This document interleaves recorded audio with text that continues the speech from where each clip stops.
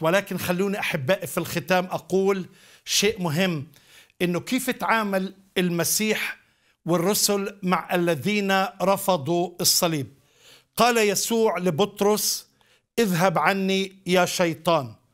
قال بولس الرسول فإن كلمة الصليب عند الهالكين جهالة. كورنثوس الأولى إصحاح الأول والآية 18 ثم قال نكرز بالمسيح مصلوبا. لليهود عثرة فالصليب عثرة ولليونانيين جهالة. لكن برضو بولس قال لأني لم أعزم أن أعرف شيئا بينكم إلا يسوع المسيح وإياه مصلوبا.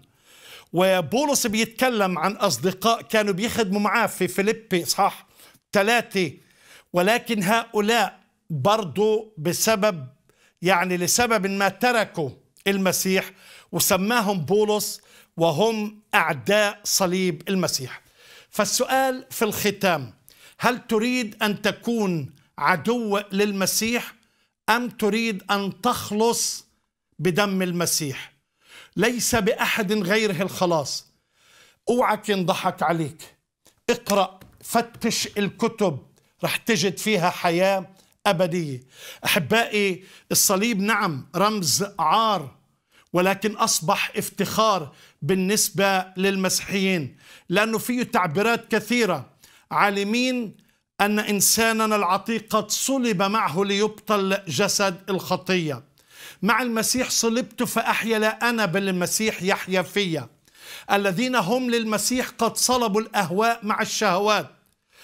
وأما من جهتي فحاش لي أن أفتخر إلا بصليب ربنا يسوع المسيح الذي به قد صلب العالم لي وأنا للعالم.